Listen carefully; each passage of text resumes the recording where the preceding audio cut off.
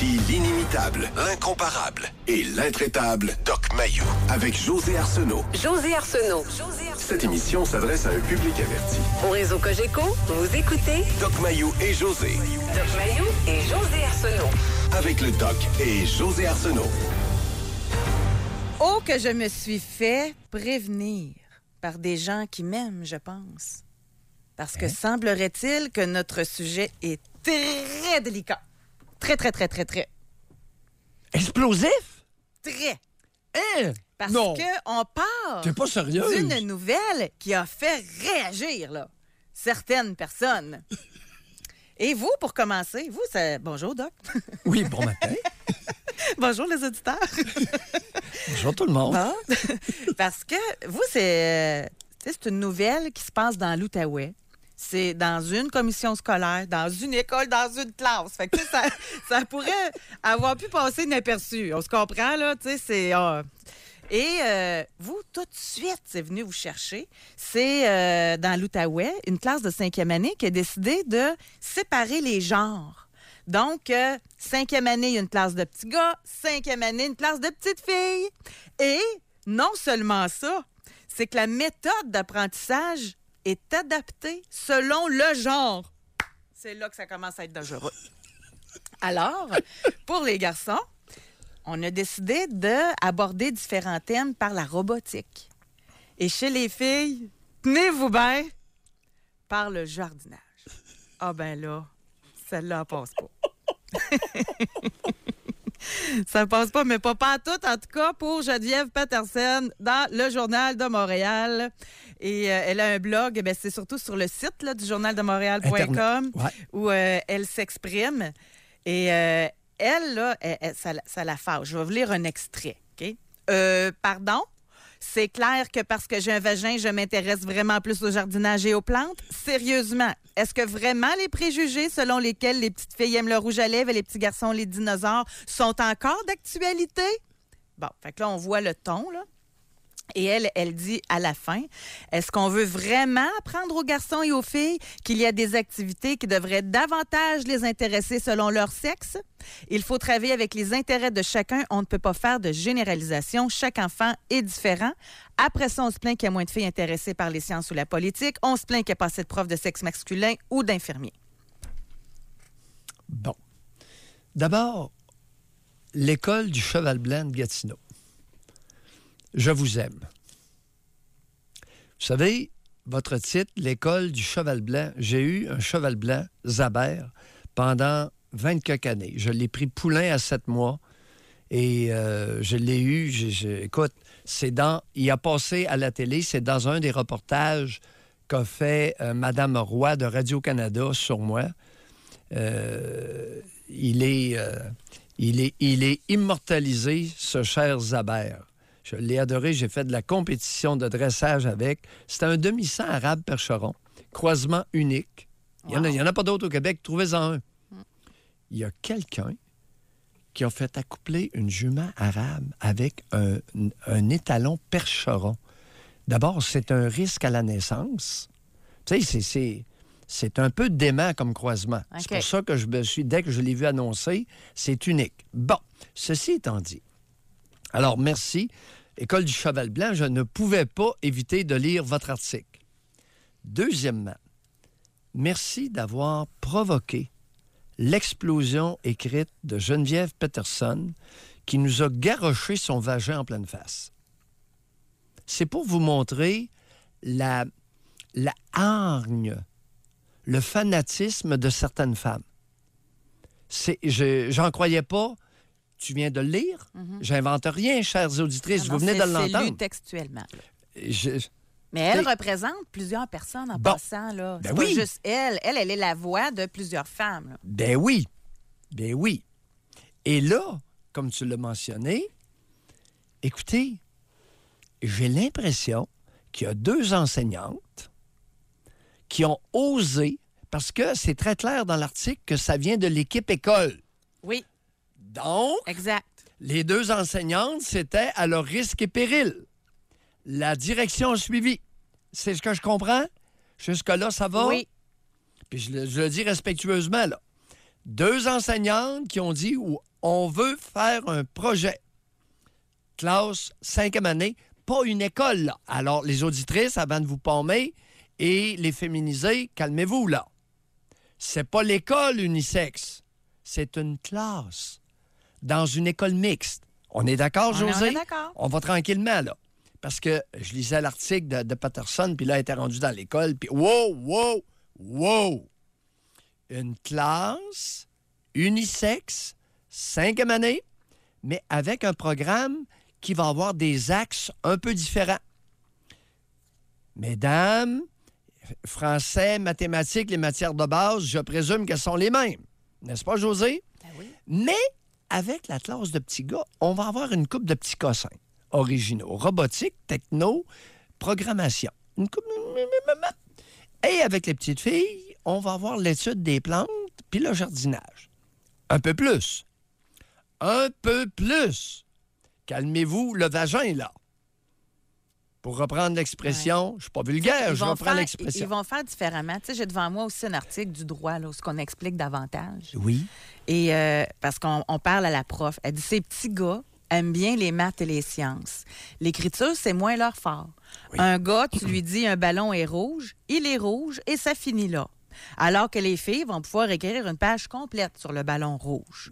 Pour les motiver, donc, elle choisit des lectures qui recoupent leurs intérêts. Comme Hein? sa chronique sur les F-35. Bon, elle dit on va aussi faire plus de robotique, de techno, de programmation. Et les filles, c'est comment? C'est différent. Moins d'intérêt pour les maths, plus pour la lecture. Dans une classe de filles, on peut créer des cercles de lecture qui auraient plus ou moins marché dans une classe mixte.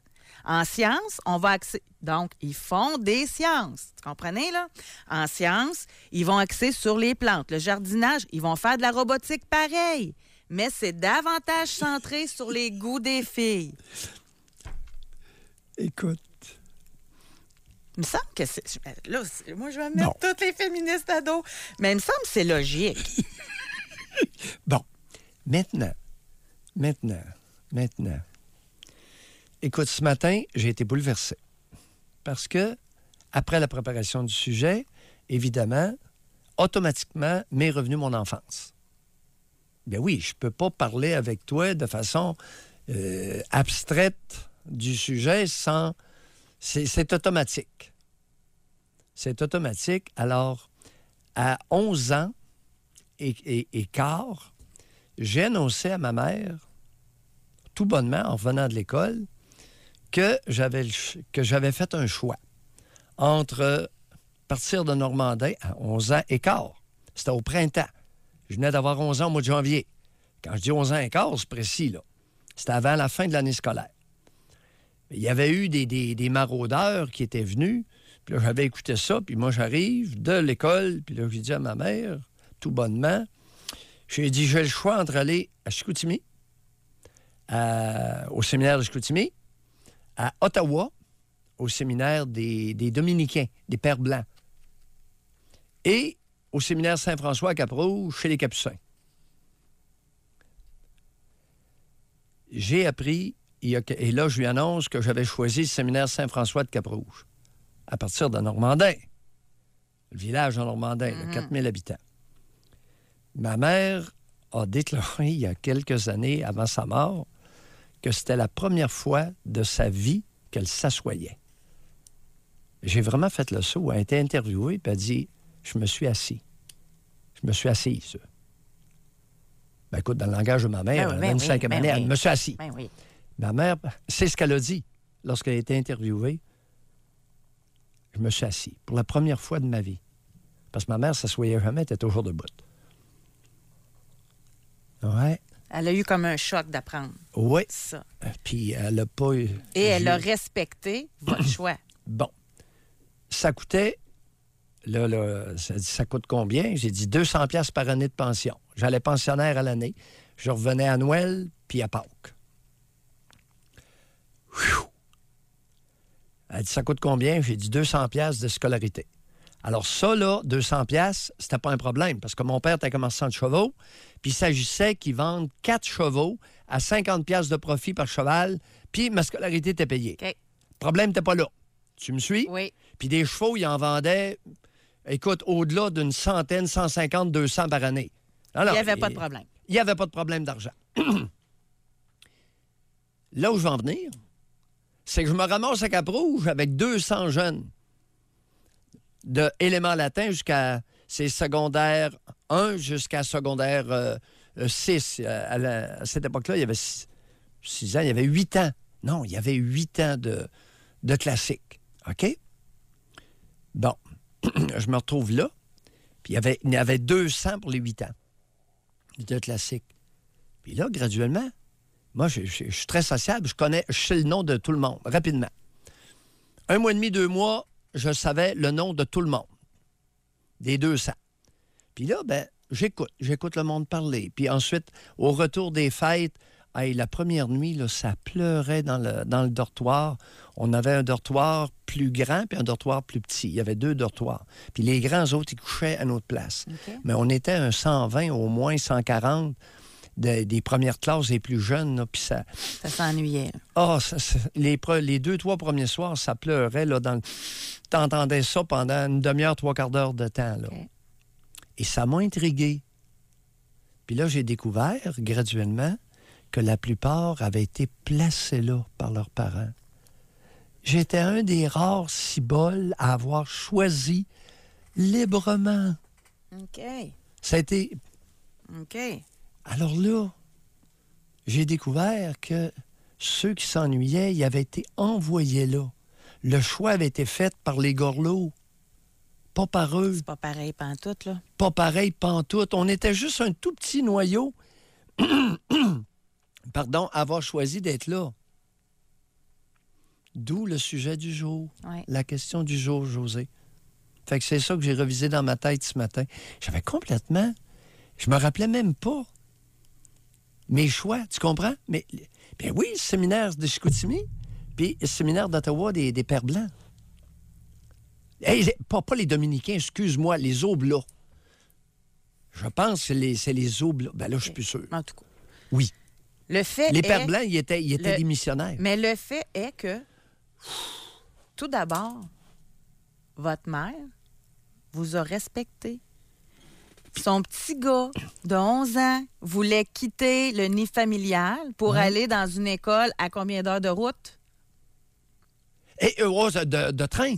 Combien d'heures de 12 train? heures. 12 heures de train à l'époque. c'est- fallait passer par Rivière-à-Pierre. Fait qu'il y en a. Il y avait un cha- Écoute, il y avait un changement de train à Rivière-à-Pierre. Hey, ils sont venus me reconduire. Ils sont venus me reconduire, mais quand je suis venu pour les fêtes, là, j'ai pris le train pour Normandin, puis j'ai repris le train après les fêtes. Hey. Il y avait un changement de train à Rivière-à-Pierre. Il y avait. Écoute, Ben, je trouve ça hot. Moi, je trouve ça beau qu'il ait respecté. José, j'étais minuscule. J'étais dans les deux, trois plus petits de la classe. J'étais plus petit que Greta. On va lâcher Greta. Non, non, mais j'étais moins pesant. que- J'étais vraiment petit. Mm. J'ai grandi, moi, à 14 ans. À 14 ans, wow, là, je me suis mis à grandir. Mais à 11 ans, hey, j'étais petit. J'étais petit gars. J'étais pas un adolescent, là. Un petit gars, puis j'étais dans les deux... On Mm, Parce nous que- mettait en rang. Oui. Parce qu'en fait, tu sais, si, si vous racontez ça, c'est que ça se peut-tu que. Je trouve ça super intéressant, la réflexion. Tu sais, les, jeunes qui sont dans les écoles, comme dans l'Outaouais où on fait le test. Est-ce qu'on impose ça aux enfants ou on les a écoutés? Est-ce que les petites filles sont contentes d'apprendre par le jardinage ou la société devrait faire en sorte qu'ils apprennent exactement de la même façon que les garçons? Et que les garçons apprennent exactement comme les filles, ça donne quoi comme résultat? C'est qui qui a de la misère à lire euh, à l'école? C'est qui qui décroche le plus dans les écoles? Ouais, les Fait que ça se peut-tu que ce soit intéressant de faire au moins des tests? Au moins de l'essayer? T'as pas idée, sur les 200, le nombre qui ont décroché en cours de route? Il y en avait des brillants là-dedans. Notre sujet d'aujourd'hui, est-ce que vos parents vous ont imposé leur choix? Quel qu'il soit, là, quel qu'il soit, ça peut être dans tous les domaines. Ça peut être le père qui veut donc que son garçon joue au hockey. Puis là, tu vas te pratiquer. Puis c'est important. Puis pourquoi tu veux lâcher le hockey? T'es bon? Pourquoi tu veux lâcher le hockey? Ben, le petit gars est obligé de continuer à jouer au hockey pour faire plaisir à son père, mais il est tanné de jouer au hockey. Sais-tu qu'est-ce qui m'a été raconté euh, dernièrement par un jeune homme? Ses parents, je ne sais pas lequel des deux, là, voulaient absolument qu'il fasse du soccer à 5 ans. Il- Sur le terrain, à 5 ans, il regardait les autres jouer. C'est sûr. C'est sûr. C'est pété comme ça! C'est pété comme ça! Il y en a combien qu'ils voulaient faire euh, telle carrière dans leur vie? Moi, je te verrais faire ça. C'est ça que tu devrais faire. Non, non, c'est ça qu'il faut que tu fasses. Regarde, c'est ta personnalité, c'est ça. Je te vois là-dedans. Pour que ce soit bien clair, l'incident que je t'ai raconté avec ma mère est vrai en tout point. Je pourrais même en faire un affidavit assermenté. Et elle n'a pas dit un seul mot, si ce n'est combien ça va coûter. Mais ça, c'était quand même important. Ben, on était sept enfants, là. Ben oui. Mais et puis ma mère était très économe, mais ce qu'elle savait pas, j'avais fait mon calcul avant, puis quatre chevaux, Chris, puis oh non, excuse-moi. Ça, c'est le langage de mon père. Quatre chevaux, puis c'était payant. On va à la pause. Est-ce qu'on vous a imposé des choix? Puis le on, là, on va aller d'un parent. Est-ce que vos parents vous ont imposé des choix? Ça peut être des conjoints? Ça peut être des conjoints. Et tu. Moi, j'ai une job, là, Oh! à Montréal. Fait que toi, tu vas lâcher la tienne, ta job, parce que c'est plus payant. On déménage avec les enfants à Montréal. C'est de même que ça se passe. Ça arrive aussi entre conjoints, hein? On va être inclusif aujourd'hui, encore une fois. On va à la pause. Vous pouvez nous texter au 25226 et réserver votre circuit téléphonique au 1877-670-9330. Alors, c'est toute une question aujourd'hui et ça nous ramène à notre enfance Hi!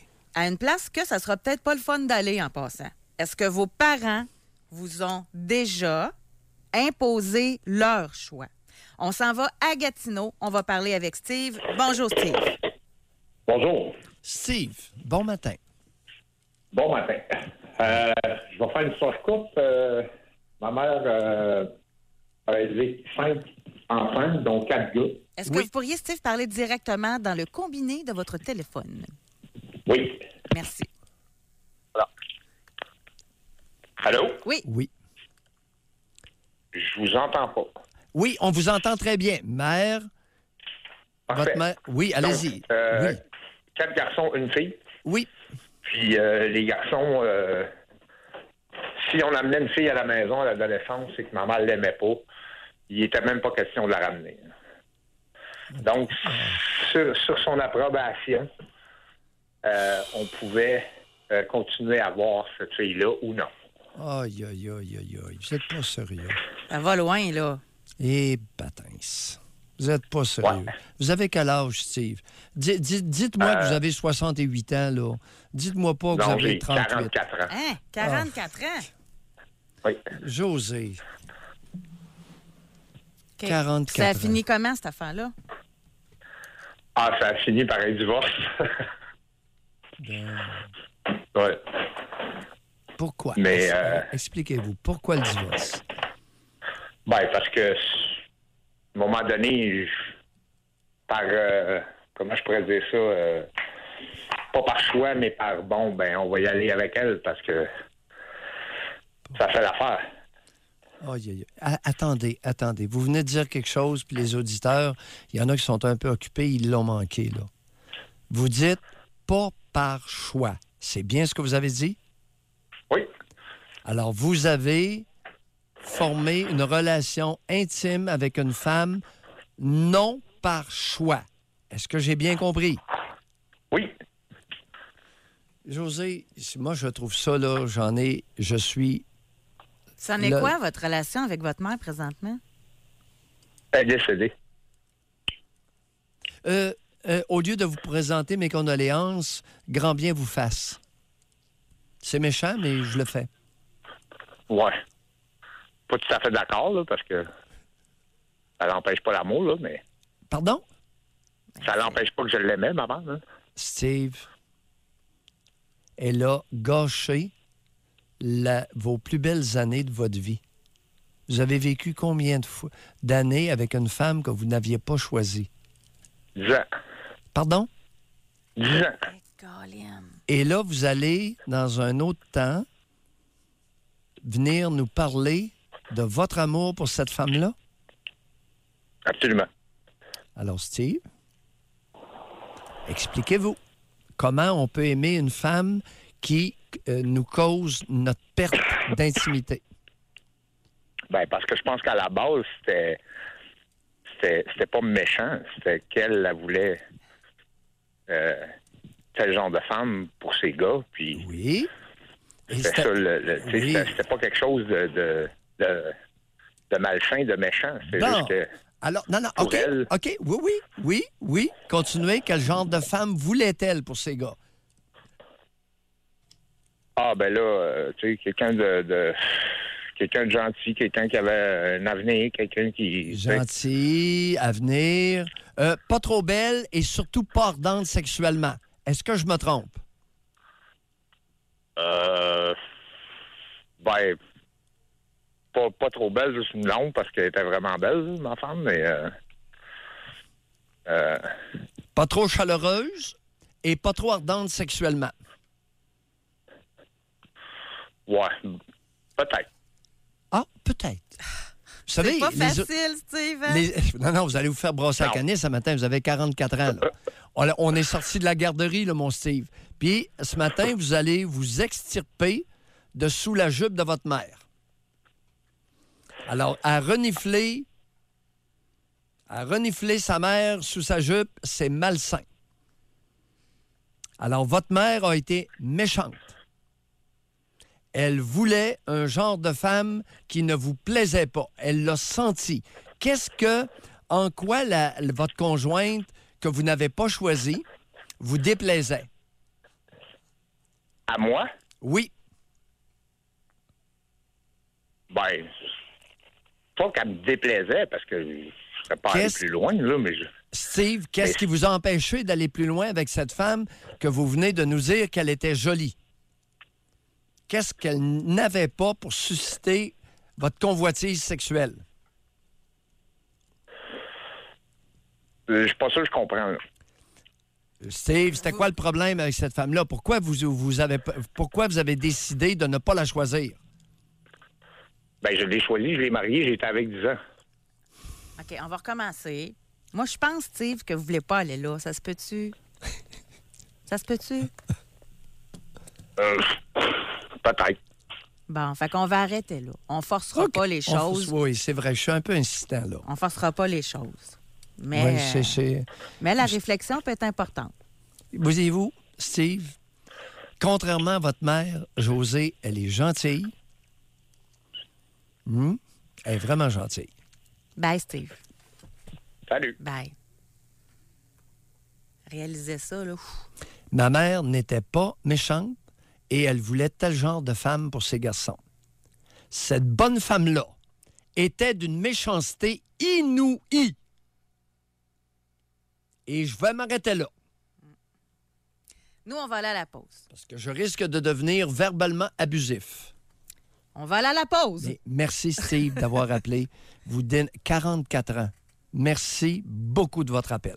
Mais comme vous avez dit, une histoire de même, si la personne aurait eu, euh, avait eu 68 ans, ça aurait été plus plausible Bah qu'à oui, 44 ben ans. là. oui, dans le temps de... C'est spécial, là. C'est dans le temps du catholicisme, puis peuple à genoux, puis euh, les enfants à genoux devant les parents, puis respecter les, les personnes âgées, puis tous ces cossins-là. là.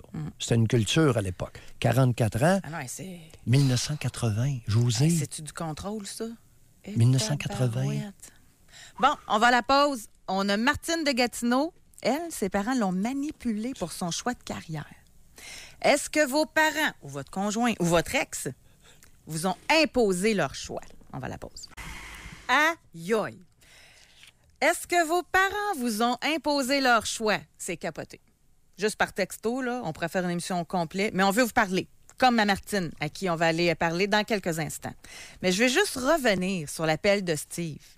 Steve, chaque fois qu'il amenait une femme, sa mère la rejetait parce que c'était pas le genre de femme qu'elle voulait pour Steve. Donc, Steve se mariait avec une femme que sa mère aimait. Finalement, ça a fini par un divorce. Bon. Et là, réaction, que je vais, ben, ça, ça, ça rentre beaucoup, là.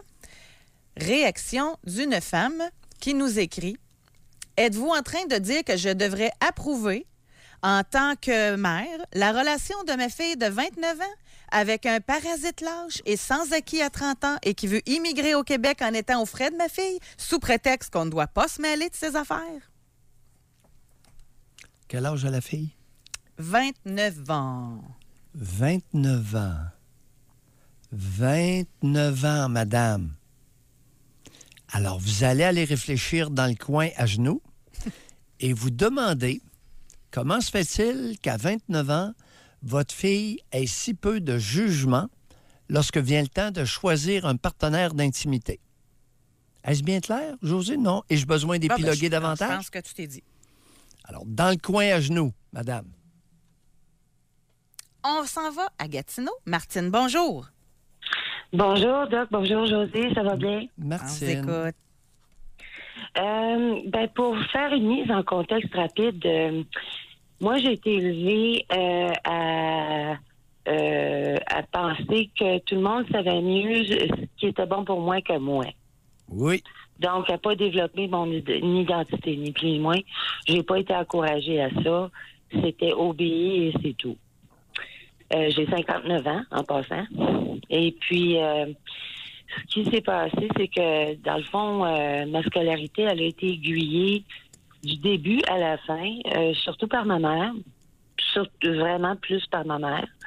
Euh, en ce sens que, euh, premièrement, je pense que ma mère était pas faite pour. Ben, je pense que ma mère n'était pas faite pour avoir des enfants. C'est, on, on devenait trop pour elle trop vite. Donc, elle a trouvé moyen de de me trouver une petite école privée où elle m'envoyait en première année quand j'avais quatre ans. Pas en maternelle, là. En première année. Puis j'avais quatre ans. Et puis, euh, elle a réussi à ce moment-là à me faire entrer dans une école publique en deuxième année à cinq ans. Et puis, euh, elle a réussi aussi à me faire accepter dans le, dans le programme. C'était euh, euh, expérimental à l'époque de sixième et septième combiné. Donc, moi, je suis rentrée au secondaire, j'avais 10 ans. Alors, j'étais pas mal, pas mal en décalage avec les autres, euh, les autres euh, filles avec qui j'étais. Et puis, euh, ben, évidemment, au cours de mon secondaire, j'ai découvert que j'étais pas, euh, les sciences, c'était pas mon fort. Et dans ce temps-là, ben, si c'était pas les sciences, ben, c'était les langues. Il y avait pas, je suis allée dans une église catholique, euh, une église, une école catholique plutôt régie par des bonnes sœurs. Puis je veux dire, il n'y avait pas d'orientation, il n'y avait pas de beaucoup de choix là, qui étaient offerts. Donc euh, j'ai dit euh, OK, je vais aller dans les langues. Puis ma sœur était déjà elle en traduction, donc euh, j'ai suivi ça. J'ai fait mon cégep euh, en arts et lettres. Après ça, j'ai obtenu mon bac euh, en traduction. Oui. Et euh, c'était important pour ma mère qu'on fasse. Elle était de la génération de la guerre, donc de privation, puis de rationnement, puis tout ça. Donc, c'est important pour eux autres que j'ai de la sécurité. Et puis, euh, donc, que j'ai un bon emploi et avec tous les avantages sociaux possibles, puis que je fasse une profession, pas un métier. Il n'y en était pas question Oui. sur tout ça. Là. Moi, la traduction, là, de la minute que j'ai mis le pied à l'université, là, j'ai détesté ça tout de suite. Et j'étais tellement pas euh, en contact avec moi-même que j'ai quand même poursuivi mon bac jusqu'à la fin, à reculons. J'en ai skippé des cours, mais je l'ai passé pareil. Oui. Puis j'ai travaillé là-dedans euh, trop longtemps. Euh, je Combien, d'années que- combien d'années vous avez travaillé en traduction? Oh, à tout et partout, là, j'ai travaillé euh, 18 ans. 18 ans. Pour 18 finalement, comment ça a tourné? Oui, allez-y, rapidement, comment Ben, ça a tourné? Comment ça a tourné? Je suis en invalidité aujourd'hui pour dépression majeure, puis euh, Oh. déficit d'attention. euh. Ben oui, puis au pelule. Vous avez un déficit d'attention, puis vous faisiez la traduction. Aïe, aïe! Ça marchait pas du tout. Je, perdais mes emplois régulièrement, là. Ben oui. Parce que, que j'arrivais pas, moi, à me tenir dans un, dans un bureau pendant 8 heures de temps devant un ordi, là. Oui, oui, mais vous, pas, vous avez, euh, vous avez fait de la traduction de 18 ans. Puis, Avec, et- et écoute, non, non, attendez, les auditeurs ont le droit de savoir, de comprendre. Oui, oui, oui. Vous avez fait de la traduction à l'université. Ah, Mhm. Vous avez appris à faire de la traduction. Vous avez fait de la traduction pendant 18 ans avec un déficit Mhm. d'attention. Pour finalement vous ramasser aux vivances. Hein? Vous êtes sur le speed actuellement, là? Euh, je suis pas au Vivance, mais je suis à l'adhéral. Bon, à la- écoute, une amphétamine. C'est le, le Ben, frère du Vivance. Eh ben, et puis, comment on se sent à l'adhéral? Un peu de speed? Ça, ça dit quoi? Euh, oh, c'est pas, il n'y a pas de buzz là, c'est juste que ça m'aide à concentrer. Ah, Il n'y a pas de buzz. Et là, à Non, 59 non, ans, vous... Sérieusement, il y a- Oui, il n'y a, pas de buzz. Bon, et à 59 ans, vous vous concentrez sur quoi? ben là, je, je concentre sur comment euh, réorienter ma, ma vie. Là. Je veux dire, moi, j'ai réussi à faire mon cours en art floral. Oh. Et puis, Ah. euh, je, j'ai toujours, moi, j'ai toujours eu un Ah. tempérament artistique. Oh, J'ai en or floral. Ah, attends un peu, là. En or floral. En or floral. et pas en robotique? Vous n'êtes pas en robotique, vous? En techno, pas en programmation? Vous êtes, vous êtes axé sur les plantes et le jardinage? Ben oui, j'adore ça. Garde donc ça, José. Quand on lui donne le choix, à plonger un fleur. Ah ben, j'ai mon maudit voyage. Avez-vous écouté l'entrée de l'émission? Notre début, notre intro? Oh, ben oui, ben oui, j'ai écouté le début certain. oui, oui. José est dans l'or Je floral. trouve ça drôle. Merci, Ben. Ben, Martine. Merci. Bye. Non, Mais- mais, juste, mais- j'ai- je vous ai pas dit le punchline. Je veux juste vous dire le punchline. Oui. C'est qu'il y a trois ans, euh, j'avais encore des effets de mes parents, puis j'ai trouvé de la correspondance qui échangeait quand ils étaient jeunes, avant de se marier. Et puis, euh, mon père a dit à ma mère, je suis désolée de, de, constater que ton cours en traduction, ça n'a pas fonctionné. Ma sœur est allée en traduction aussi. Ma sœur est morte de complications d'anorexie et de boulimie. Aïe, aïe, aïe, une tragédie familiale. Ouais. Puis ma sœur était, elle était douée pour être chef, ma sœur. Puis mes parents, aïe, pour mes parents, il n'y en était pas question. Martienne, êtes-vous en train de supputer que votre mère pourrait être un facteur causal dans le décès de votre sœur et la ruine de votre vie? Oui, absolument.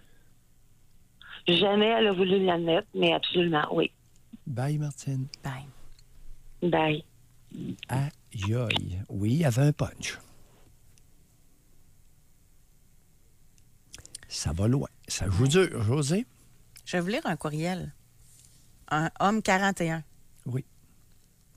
C'est assez récent. là. Père Pédo, je voulais me sauver de la maison. Je travaillais sur l'entreprise familiale et à l'extérieur durant mon secondaire et mon cégep. L'année avant d'entrer à l'université, mon père m'a exigé que je travaille seulement dans l'entreprise et il m'a dit qu'il m'aiderait pour l'université. J'ai appliqué en médecine et dans un domaine lié à l'entreprise familiale.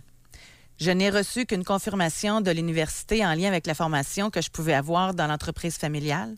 Mon père avait reçu mon admission en médecine et avait rappelé en se faisant passer pour moi pour la faire canceller. J'ai su que j'avais été en brûlant des vieux papiers dans le poêle, mon inscription y était. J'ai voulu retourner en médecine, mais mes parents ont dit qu'ils me couperaient les vivres et ne me vendraient pas le patrimoine familial.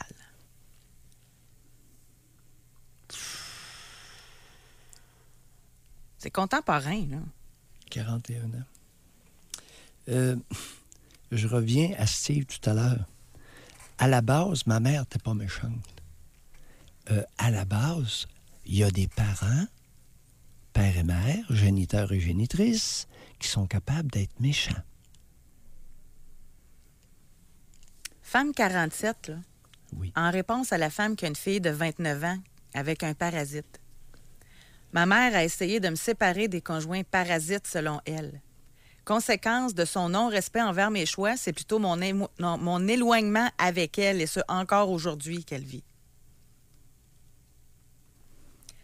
On va parler, oui. on va parler avec euh, Cathy qui nous appelle du centre du Québec. Bonjour Cathy, Allô, ça va bien? Cathy. on vous écoute. Oui, ben, euh, moi, j'ai choisi une technique euh, au début de, de- à la fin de l'adolescence qui était le choix de mon père. Puis, euh, excusez, ça m'émeut un peu. Ben oui. Puis, rendu à 21 ans, je me suis rendu compte que c'était pas ça que moi que je voulais. Fait que j'ai choisi une autre carrière, puis euh, qui est infirmière. Puis mon père m'a fait comme réponse, euh, ben c'est ça, tu vas aller torcher des culs. Fait que depuis ce temps-là, je parle pas à mon père. Ça va faire 25 ans. Vous avez quel âge, là, Cathy? 48. Bon. Maintenant, racontez-nous comment vous vous sentez là. Qu'est-ce qui, qu'est-ce qui se passe en dedans de vous? Parlez-nous de ce que vous vivez à l'intérieur là. Ça m'a dérangé qu'ils me respectent pas. Comment vous vous sentez là?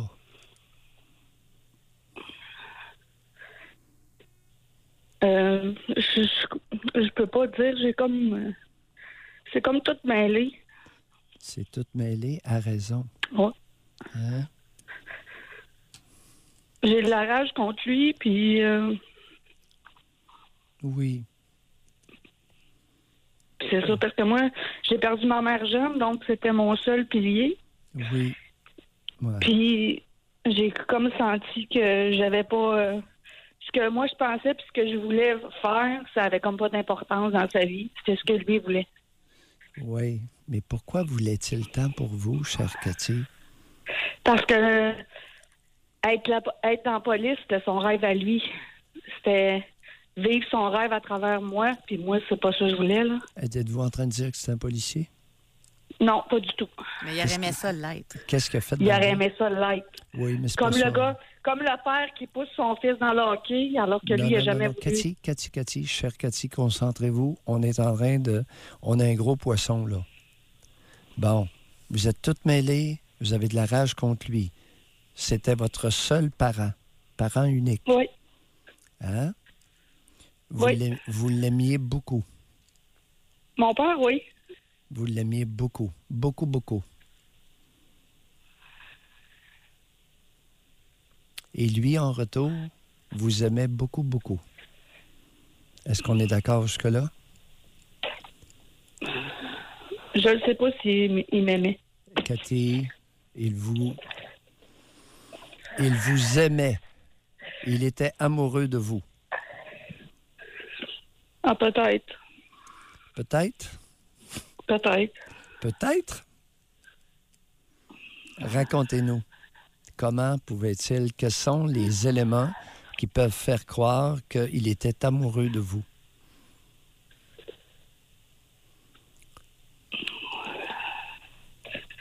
Ben, il m'a souvent. euh, j'ai- J'étais quelqu'un qui réussissait à l'école. Donc, il, me poussait à réussir à l'école. Mon frère était pas bon, il dénigrait mon frère. Oui. Euh, Il vous a souvent quoi?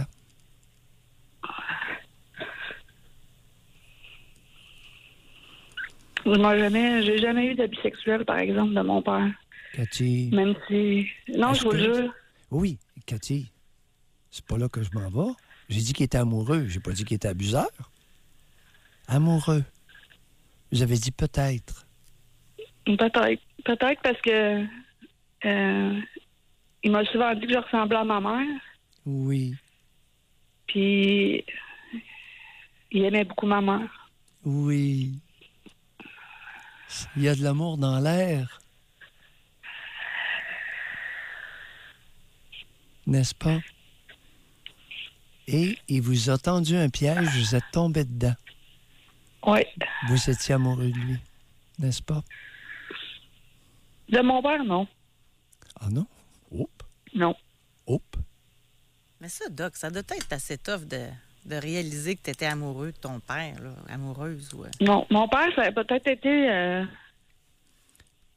mon, mon, mon idéal d'homme, mais c'est c'est drôle parce que j'ai été 23 ans avec quelqu'un, c'est pas du tout le, le même pattern que j'ai choisi. Il Ouais. ressemblait pas du tout à mon père. Mon père était mon idéal d'homme. Et lui, quand il sentait que vous étiez son idéal d'homme, votre géniteur, comment il réagissait? Que je, je comprends pas trop comment il réagissait. Non, ça lui faisait quoi? Il- Ça lui faisait quoi, vous pensez, de sentir que qu'il était votre idéal ben, probablement que ça le valorisait. Oui. Et il était encore plus amoureux? Oui, sûrement. Si je vous disais que votre géniteur était un être méprisable, Je, oui, oui, c'est ça. C'est exactement ça. mais dont vous avez été profondément amoureuse.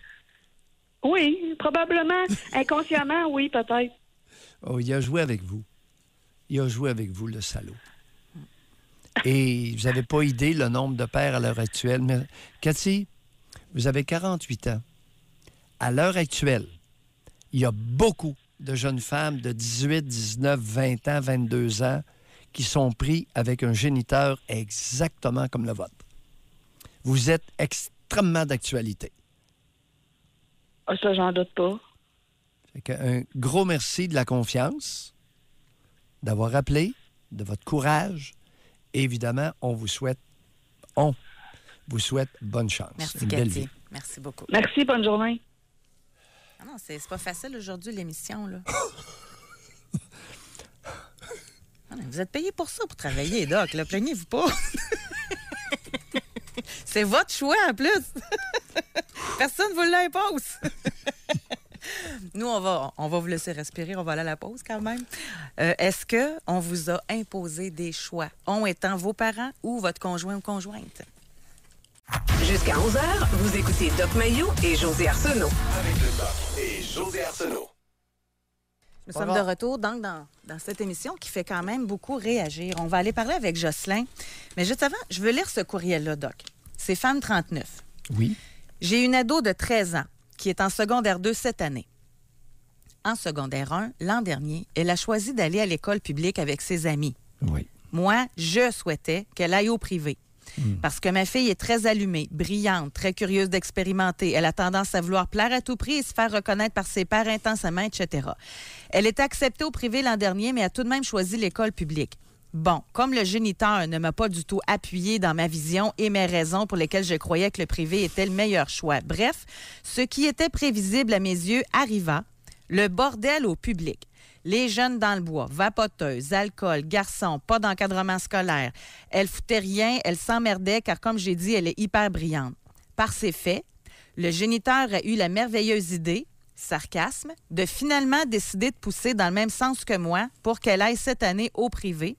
Et voilà qu'aujourd'hui, elle fait son secondaire 2 au privé. Je suis bien fière d'avoir poussé et influencé son choix pour qu'elle y soit. Et je trouve qu'elle a gâché son année l'an dernier et j'aurais dû l'obliger à aller au privé dès l'an passé. Madame, votre attitude de maîtresse d'école, entre guillemets, maîtresse d'école, vous déshonore. Vous n'avez pas compris ce qui s'est passé. Vous, nous- vous venez de nous le dire. Votre fille de 13 ans a un énorme problème. Je vous le dis respectueusement, je ne crierai pas, je ne lèverai pas le ton. Vous avez participé, probablement indirectement, à un derby de démolition de votre fille. Qu'avez-vous dit, qu'avez-vous écrit à José? Ma fille de 13 ans veut plaire à tout prix. Problème colossal.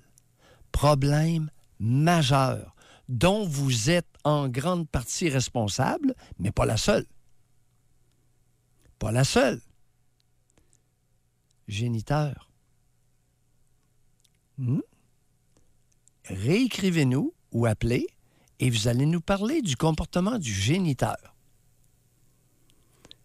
Vous avez permis le développement d'un énorme problème chez votre jeune. Et là, vous voulez régler ça à coup de pied dans le derrière. Non. Vous allez régler ça par des belles flattes dans le dos de votre fille. Vous, pas le géniteur. Vous allez la flatter dans le dos, puis vous allez lui peigner les cheveux. Correct? Affection. Sinon, je vous envoie dans le coin à genoux. On va parler avec Jocelyn. Bonjour. Bonjour José, bonjour Doc Maillot. Jocelyn, Bon, oui, venez ramener un peu d'ordre dans cette digression matinale. je ne sais pas si ça va ramener de l'ordre, mais en tout cas. Moi, c'est euh, Oui. quand j'ai fini l'école à 18 ans, en 1977. J'ai Oui. 60 ans présentement aujourd'hui. Oui, Euh, dans l'automne du 77, euh, je suis allé au centre de recrutement des Forces armées canadiennes. oui, J'ai tout fait les tests, j'ai passé. oui, Ils m'ont dit, quand tu seras prêt, viens-t'en, on t'engage. oui. Puis, euh, vu que dans ce temps-là, ben, j'avais les cheveux longs, puis ça, puis c'était juste à 20 ans, j'ai dû me passer les fêtes chez nous. Puis après ça, j'irai. Oui. Et pendant les fêtes, moi, je viens de Saguenay, ville de la baie. Il y avait une usine de pâte et papier, elle est plus là présentement aujourd'hui. Oui. Il y avait une usine de pâte et papier. Puis ma mère a dit, euh, va donc, puis qu'elle a, dit, va donc porter ton CV là. Elle dit, engage cet été, là, puis de- Oui. Fait que pour lui faire plaisir, je suis allé donner mon CV là. Puis j'ai été engagé. Oui. J'ai commencé en 78, mars 78. Oui. Mon père, mon père, mon père était fier de ça parce que l'histoire là-dedans, c'est qu'il y a plusieurs, on est neuf chez nous, moi je suis septième de la famille.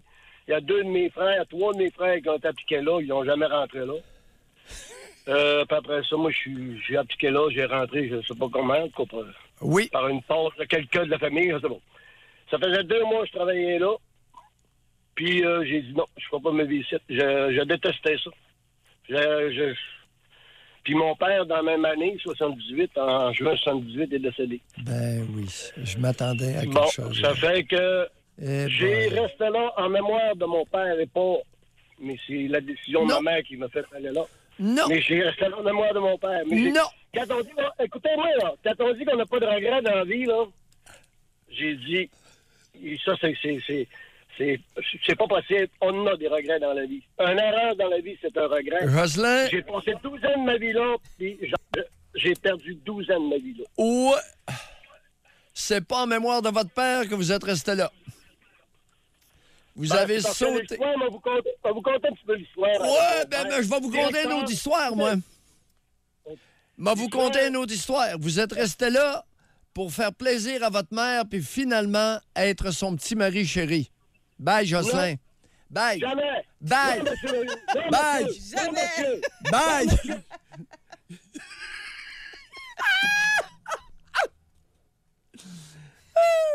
Jocelyn le placoteux attend que ses chums le rencontrent. Jocelyn va passer dans moulinette. Écoute, il va se faire dire par ses chums qu'il a voulu être officiellement le petit mari de sa mère. Jocelyn, hey, les gars vont caler une bière en riant à gorge déployée. Jocelyn, t'as voulu être le petit mari de ta mère, ça t'a coûté un bras. Ça, t'apprendra la ça prochaine change fois. l'histoire, là.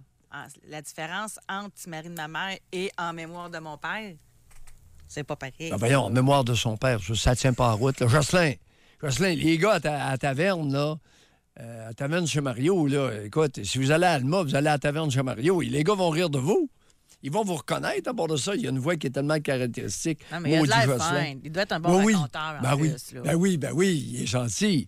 Il est gentil. Merci d'avoir rappelé, mais euh, il a- je lui ai remis une maudite chic de gomme.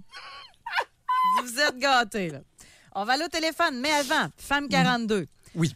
Mon père a influencé mon choix de carrière, mon choix de chum, le moment où j'aurai mon permis, m'a tenu à obéir sans avoir le droit d'argumenter, jusqu'à ce que je quitte le domicile. Je déteste ma vie, mon travail et ne veux plus de conjoint stable. Est-ce que j'étais jolie? Oui, très, et je le suis toujours. Et il y a de l'amour dans l'air.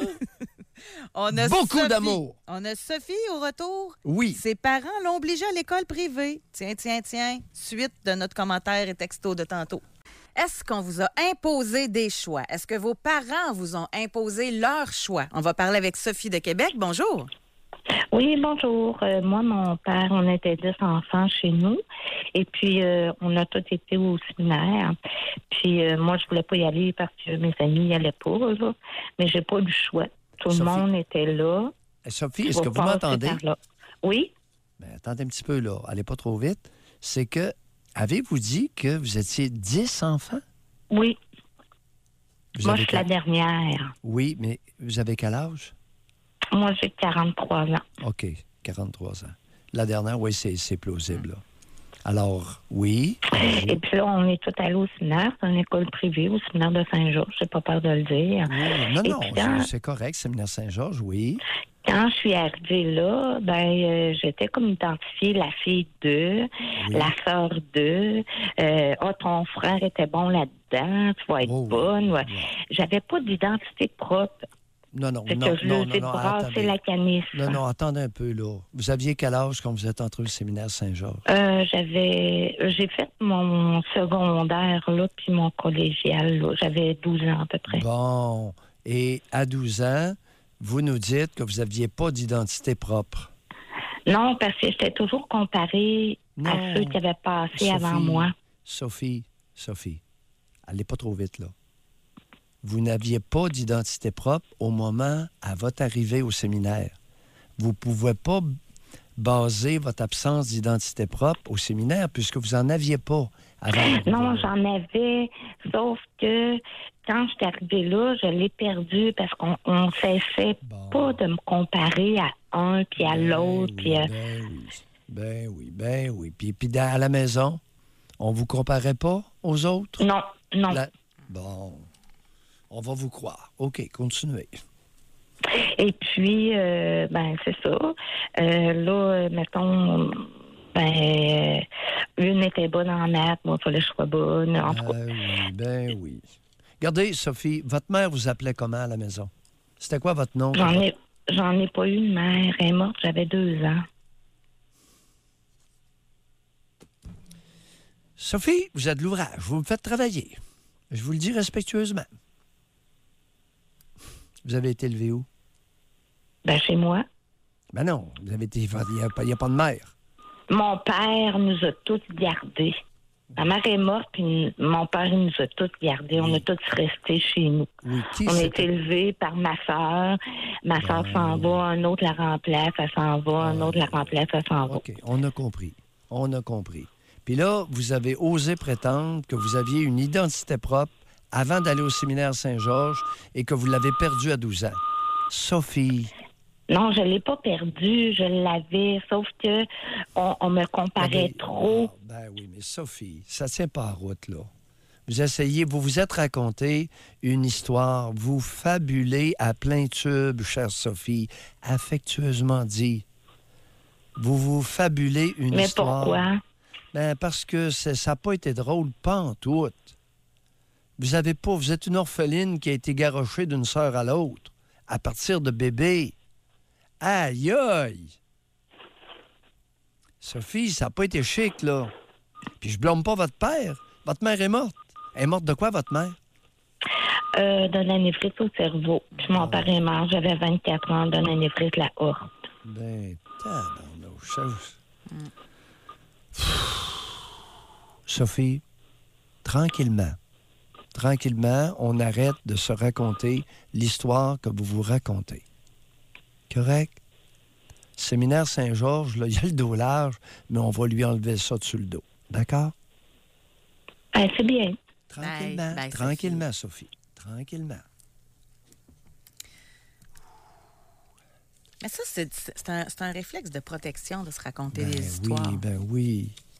Hey, c'est catastrophique comme enfance. Imagine, il y a dix enfants, la dernière a deux ans, il y en a de tous les âges. La mère meurt d'un anévrisme au cerveau. Une ballonne d'un vaisseau sanguin qui pète dans le cerveau. Elle tomberait de morte. Ça a été catastrophique. Bon, il n'y a pas eu personne, imagine, il n'y a pas une femme qui veut prendre la relève. Pauvre bonhomme, les marrons étaient cuits. Penses-tu qu'il peut rentrer une femme dans, le, dans cette fourmilière-là? Impossible. Oublie ça. Fait que là, les plus vieilles se sont occupées des plus jeunes. Puis au fur et à mesure qu'elles partaient de la maison, ben, c'était l'autre qui prenait le collier. Euh, pff, José, c'est la misère psychologique. Puis là, là-dedans, le bébé, deux ans, imagine-toi, se fait passer d'une sœur à l'autre. Aïe, aïe, aïe. Puis là, elle se raconte qu'elle a perdu son identité au séminaire Saint-Georges. Non, non, madame, on arrête tout ça. Vous avez eu, vous n'avez pas été chanceuse. La loto familiale, Non. vous ne l'avez pas pigé. C'est pas drôle, puis on, on est très sympathique à votre cause, là. On va aller à la pause. Puis au retour, je trouve ça intéressant. On a Isabelle. Elle, elle nous appelle pour dire qu'elle décide tout pour sa fille, c'est plus fort qu'elle. Bon. On va lui parler au retour. J'ai hâte d'entendre Isabelle. Isabelle prend la peine d'appeler parce qu'aujourd'hui, c'est est-ce qu'on vous a imposé des choix?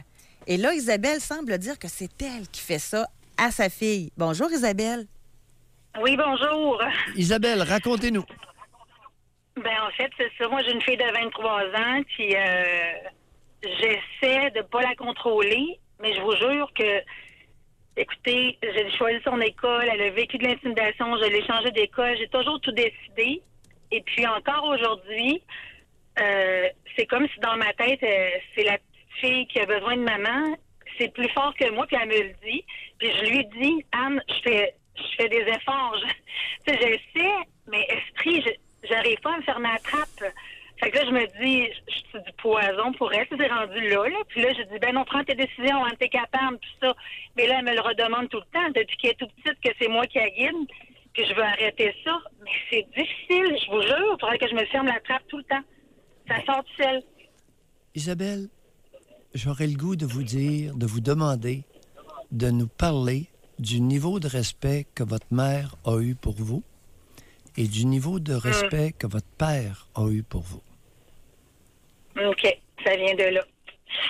OK, ben, c'est ça. Pour moi, pas, pas, pas à la hauteur de mes attentes, évidemment, là. Puis là, euh, je sais qu'il faut pas excuser, mais moi, c'était tout le temps, bon, on est ce qu'on est à cause de l'accumulation, ça que ma mère était ce qu'elle est parce qu'elle a vécu ça, et j'ai tout le temps excusé, mais aujourd'hui, je me rends compte que été très blessée. Mais j'aimerais ça pas le faire avec ma fille. Attendez, attendez. Hey, non, non. Hey, je viens de vous suggérer une, une porte de sortie, là. Alors, Ah, ok. vous venez de dire, Isabelle, j'ai j'ai été très blessé. Continuez. Oui.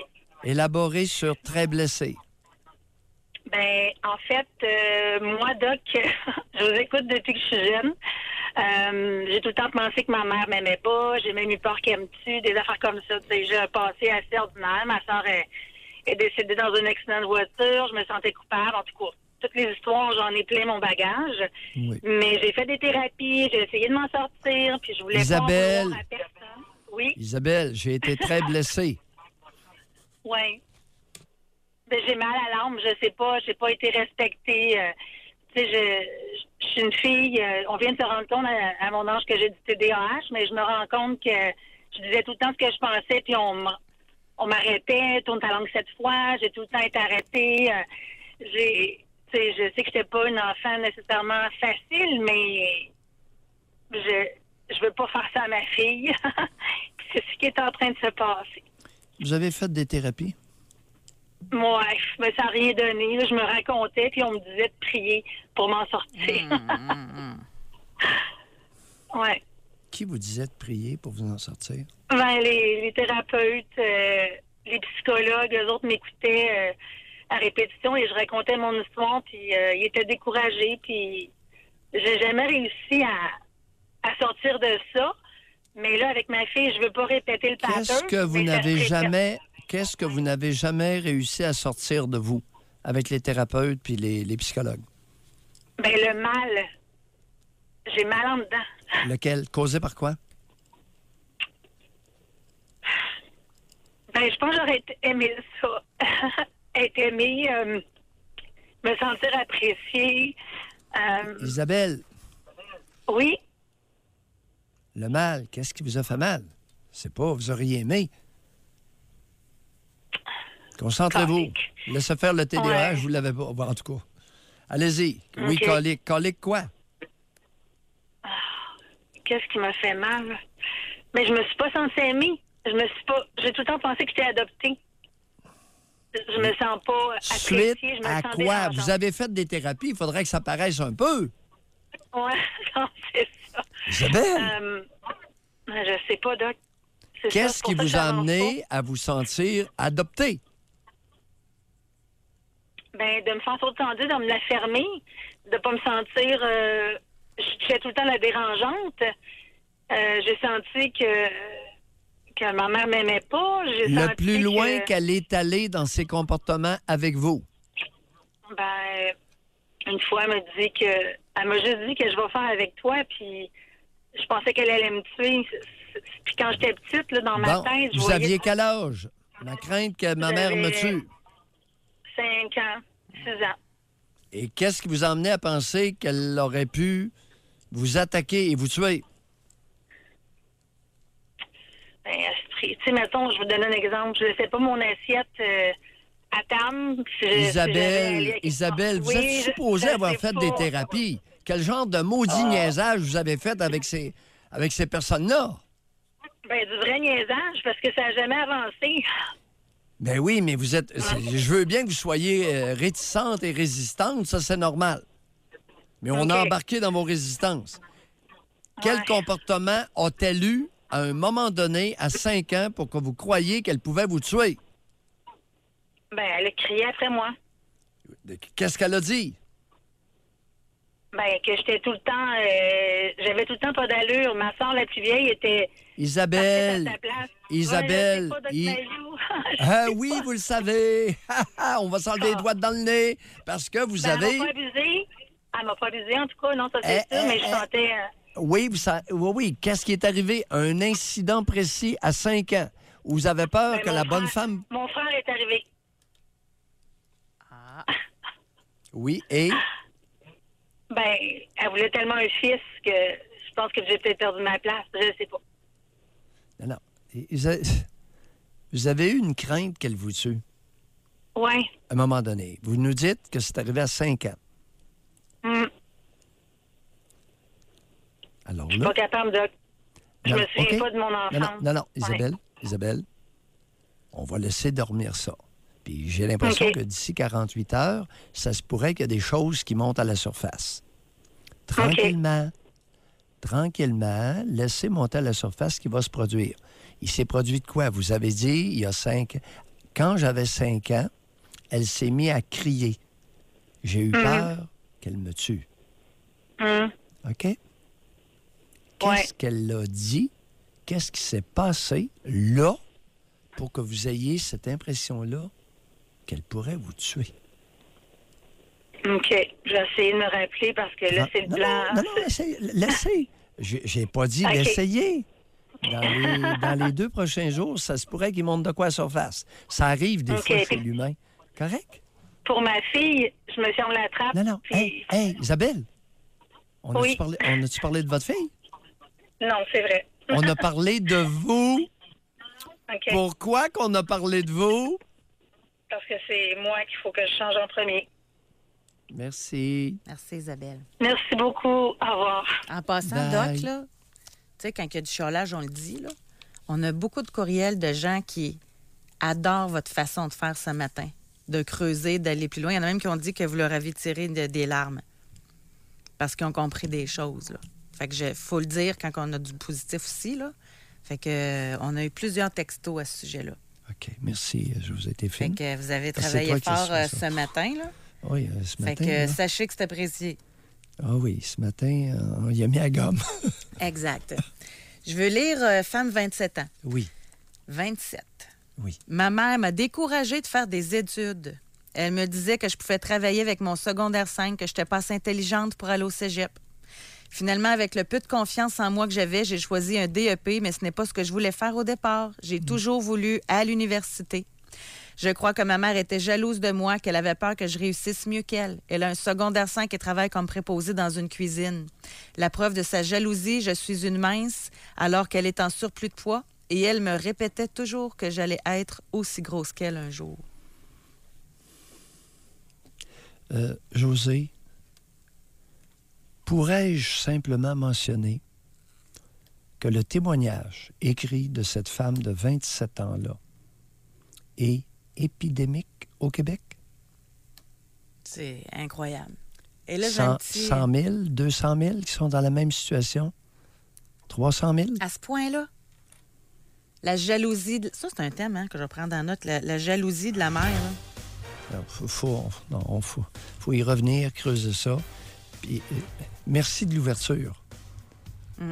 Parce qu'à un moment donné, il y a- on a tellement de témoignages dans une direction qu'on n'a pas le choix d'aller plus loin dans Ouais. cette direction-là, chers auditeurs. Alors, c'est pas la misogynie de Maillot qui s'exprime, c'est une problématique majeure. Merci, Doc. Bonne job ce matin, encore une fois. Merci beaucoup, Benjamin. Merci. c'est Passez une gentil. excellente journée, tout le Oh, monde. T'as pas donné ta place, toi non plus. là. À demain, bye.